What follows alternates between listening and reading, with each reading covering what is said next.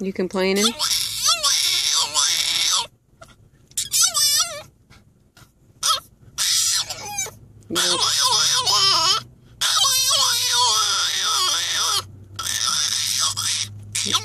I understand. You don't want to go on this ride?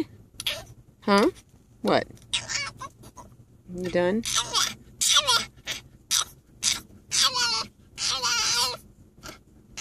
And I know. I know.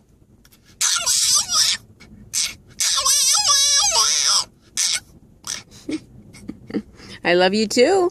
I do. I love you. But you just got to stay in there for a little bit, okay? Okay?